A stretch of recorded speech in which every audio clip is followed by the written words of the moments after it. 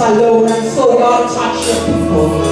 Touch this community with the power of your love.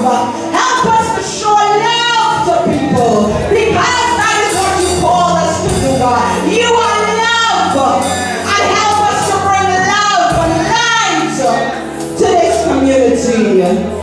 In Jesus' name. Isn't our God great?